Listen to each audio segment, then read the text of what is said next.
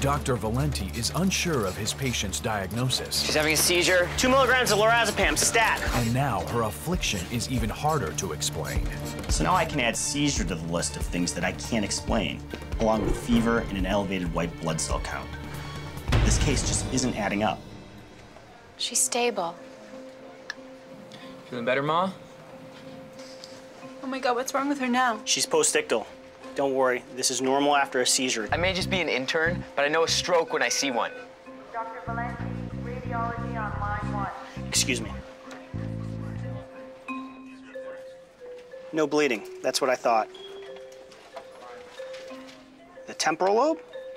When the radiologist told me that there was a stroke in the temporal lobe of the brain, which is far on the lateral side of the brain, it didn't really add up because the temporal lobe isn't typically a portion of the brain the radiologist describes as having a stroke. We usually think of the frontal lobe or the parietal lobe as typical areas where strokes occur. And also is the area of the brain which controls seizures. I knew that stroke couldn't be responsible for this patient's fever. I thought, at this point in time, I think we're dealing with herpes encephalitis. What did the radiologist say? He interpreted the CT scan as a subacute stroke in the left temporal lobe.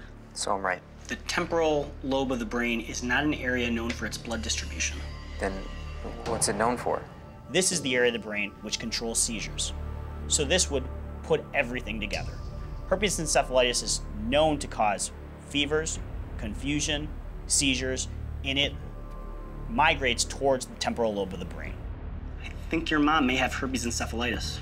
Herpes? Like the sexually transmitted disease? Why would mom have that? She was never promiscuous. Yes, most herpes infections are either genital herpes, which 20% of the United States population has, or an oral infection, which approximately 80% of the population has. I'm not saying that this is a sexually transmitted disease.